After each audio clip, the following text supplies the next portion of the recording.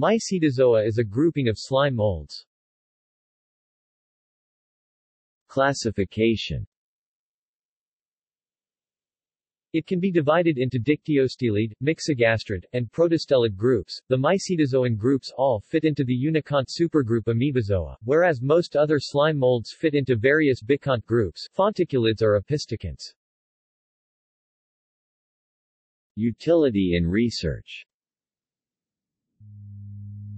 Dictyostelids are used as examples of cellular communication and differentiation, and may provide insights into how multicellular organisms develop.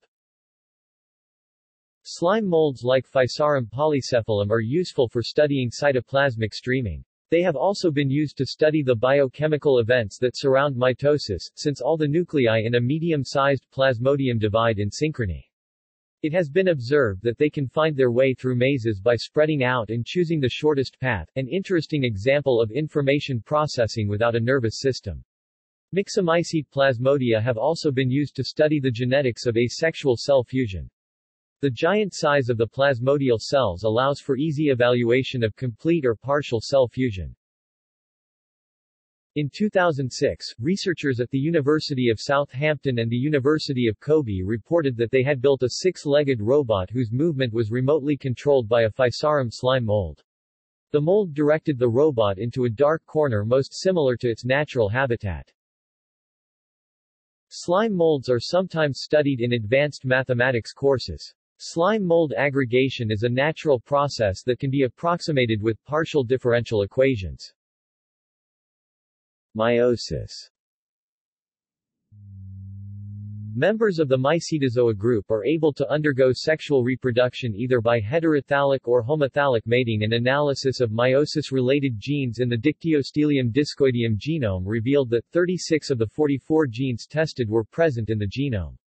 One gene, SPO11, was absent in the Mycetozoa, raising questions about the assumed universal role of SPO11 as an initiator of meiosis. References External links Slime molds Slime mold solves maze puzzle from abc.net.au Hunting slime molds from Smithsonian Magazine. Robot piloted by a slime mold. Slashdot, 2006. Retrieved February 15, 2006. Dictybase is an online informatics resource for Dictyostelium, a cellular slime mold. Nomen.eumycetozoa.com is an online nomenclatural information system of slime molds, myxomycetes, dictyostelids and protostelids of the world. Photo gallery Introduction to the slime molds Slime mold photos life cycle of Reticularia lycoperdon at mushroomania.com Video footage of common slime molds